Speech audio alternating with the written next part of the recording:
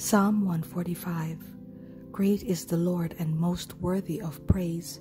His greatness no one can fathom. One generation commends your work to another. They tell of your mighty acts. They speak of the glorious splendor of your majesty, and I will meditate on your wonderful works. They tell of the power of your awesome works, and I will proclaim your great deeds.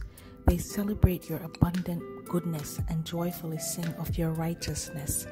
The Lord is gracious and compassionate, slow to anger and rich in love. The Lord is good to all. He has compassion on all he has made. Heavenly Father, what a privilege it is for us to be your children, to be your creation, and to be loved by you. Thank you for the outpouring of blessings upon us for surrounding us with your magnificent presence. Thank you for the gift of life, health, strength, a sound mind, and the ability to fulfill your will on earth. Thank you for this wonderful earth you have created and maintained, the beautiful skies, the amazing seas, the animals, and all the trees. No other power can be compared to yours as we humbly bow down in our spirits and worship you.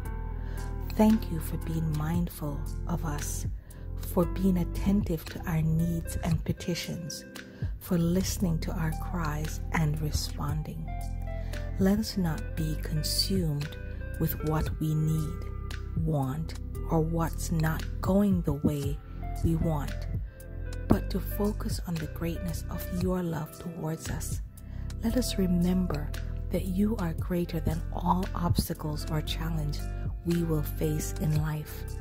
Thank you for your everlasting love and mercies upon us this day as we engage in the activities of life. Keep us safe from all harm and danger, guiding us to the path you have destined for us. In Jesus' name we pray.